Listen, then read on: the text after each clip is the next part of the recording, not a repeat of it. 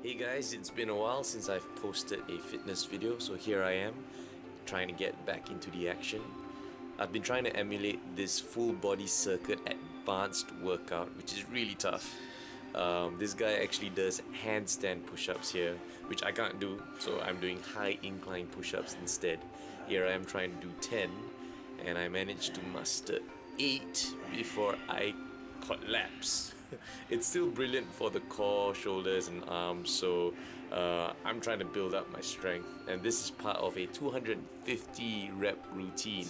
Stay tuned for the full video coming soon.